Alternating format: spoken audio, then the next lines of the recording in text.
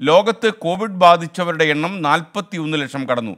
രണ്ട് ലക്ഷത്തി എൺപത്തി മൂവായിരത്തി എഴുന്നൂറ്റി മുപ്പത്തിനാല് കോവിഡ് മരണങ്ങളാണ് ലോകത്ത് ഇതുവരെ റിപ്പോർട്ട് ചെയ്തത്.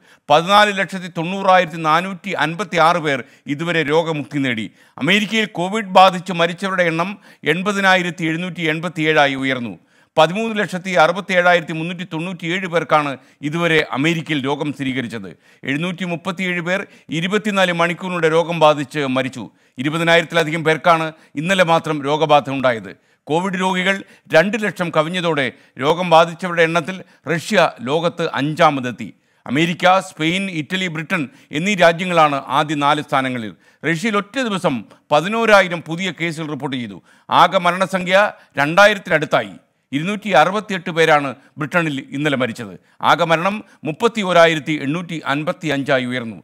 ബ്രിട്ടനിലെ ലോക്ക്ഡൗൺ അടുത്ത മാസം ഒന്നാം തീയതി വരെ നീട്ടി. ബ്രസീലിൽ നാനൂറ്റി അറുപത്തിയേഴ് പേരാണ് ഇന്നലെ മരിച്ചത്. ആകെ മരണം പതിനോരായിരത്തി നൂറ്റി ഇരുപത്തി മൂന്നായി ഉയർന്നു.